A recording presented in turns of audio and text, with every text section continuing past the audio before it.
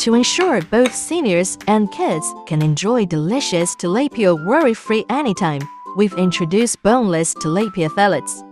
We select the finest meat from the fish, marinated beforehand for convenience. Take our garlic tilapia fillet, for instance.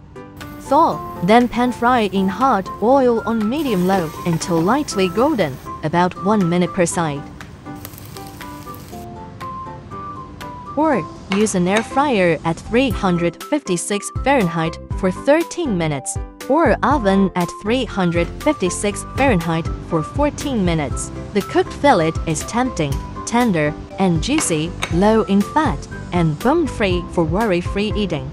It's easy to cook in just one step, perfect for both restaurants and homes.